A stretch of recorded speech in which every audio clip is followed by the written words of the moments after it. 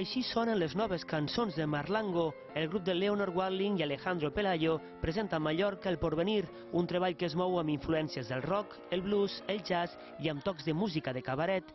Cuando dicen el cabaret me parece que se refieren a esa cosa que está muy vivo. Esta propuesta, sí, en ese sentido es más de convertir esto en un espacio pequeño donde da igual que haya alguien sentado al fondo, yo le oigo, le veo y se lo digo.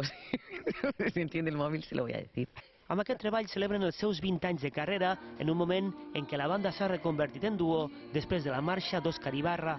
Ha sido un viaje de, de- de reencontrarnos sin, sin él.